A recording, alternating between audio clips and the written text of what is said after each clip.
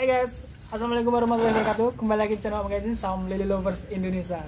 Oke guys, kali ini saya masih dengan Pak Pentol dan Mas Luis Fernandez Luis Mendut. Oke guys, eh, jadi di dalam bisnis perikanan Bisnis perikanan tuh ada yang namanya hubungan antara ikan dan juga pemilik tuh guys. Jadi hubungan batin si pemilik dengan ikan. Karena kita kan memelihara ikan ya. Nah ikan itu perlu hati yang bersih dari kita. Kita itu makannya juga pakai hati. Gimana om pendol om Luis kalau kita pelihara ikan hubungan kita sama ikan tuh harusnya gimana?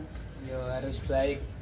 Yo hati kita harus sayang sama ikannya. Kalau enggak iwai seperti kita kita ini. Kalau kita enggak sayang sama ikan ikannya ya sering mati sering apa gitu mesti ada masalah. Oh gitu aja Mm-mm. tiap jadi tiap kolam itu ya beda-beda. Harus ada klub ikan sama yang punya kolam ini biasanya yang makan saya terus dimakan Pak Pentol itu Ah. lain lagi San. Nah, misalnya ada ada dua kolam Hmm. ya kalau yang biasa ngasih makan Pak Pentol Hmm. terus dikasih makan Mas Luis itu juga Terus lain lagi udah lain lagi jadi hubungan batinnya itu udah mancap di kolam yang it- itu terus kayak dikasih ada makan chemistry-nya ah, ada kayak chemistry-nya kayak Hmm. chemistry ya ah. chemistry guys jadi pengaruh banget pak ya.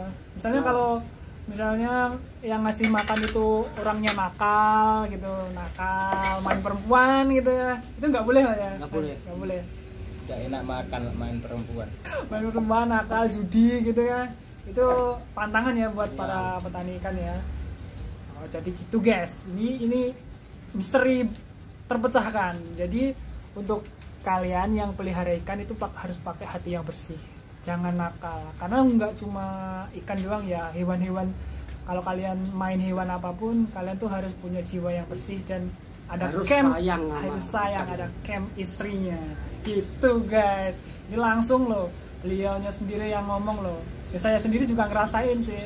Nah jadi ini pertanyaan untuk para petani-petani ikan yang masih nakal. Langsung Tunda langsung dulu tunda nakalnya. dulu. Jangan jangan nakal dulu ya. Jadi nanti bisa pengaruh terhadap kelangsungan hidup si ikannya. Karena dia tuh ada chemistry menyalur dari hati ke hati, hati ke hati gitu. Gitu guys. Ah, ya mungkin gitu aja guys ya. Itu masalah hubungan chemistry ikan dengan si pemiliknya. Harus pakai hati yang bersih ya. Gitu guys. Jadi kalian yang yang masih nakal oke segera stop dulu stop dulu stop dulu ngasih makan ikannya yang bener supaya panennya bagus. Itu yang paling penting. Ya oke pak Mendel sip. Oke jangan lupa kalian subscribe dan pantengin channel Menggaijin ini adalah misteri antara hubungan ikan dengan pemiliknya supaya panen kalian melimpah guys. Oke guys? Jangan lupa kalian subscribe. Sampai jumpa. Bye bye